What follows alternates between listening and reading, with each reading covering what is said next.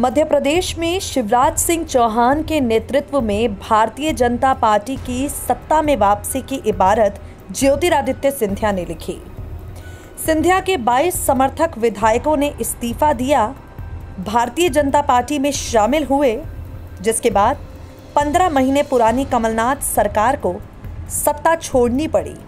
शिवराज सिंह चौहान के सिर एक बार फिर से ताज सच गया।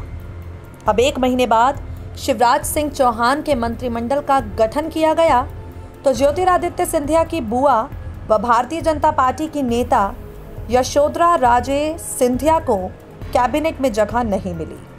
आपको बता दें, शिवराज सिंह चौहान के मंत्रिमंडल में पाँच मंत्रियों को राज्यपाल लालजी टंडन ने दोपहर में राजभवन में शपथ दिलाई। शपथ लेने वाले नेताओं की फहरिस्त में डॉक्टर नरोत्तम मिश्रा कमल पटेल और मीना सिंह के नाम शामिल हैं। इसके अलावा पूर्व केंद्रीय मंत्री ज्योतिरादित्य सिंधिया के समर्थकों में तुलसीराम सिलावट, गोविंद सिंह राजपूत को भी कैबिनेट में जगह मिली है।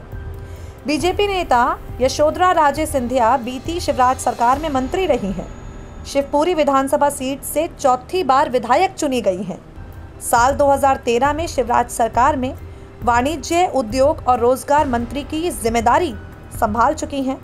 इससे पहले दो बार सांसद रह चुकी हैं।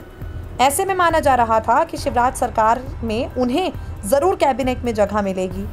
वहीं ज्योतिरादित्य सिंधिया के कांग्रेस छोड़कर बीजेपी में शामिल होने पर यशोधरा, राजे सिंधिया काफ़ी खुश थी। उन्होंने कहा था, राजमाता के रक्त ने राष्ट्रहित में फैसला लिया। साथ चलेंगे, नया देश गढ़ेंगे, अब मिट गया हर फासला। ज्योतिरादित्य सिंधिया द्वारा कांग्रेस छोड़ने के साहसिक कदम का आत्मीय स्वागत करती हूँ।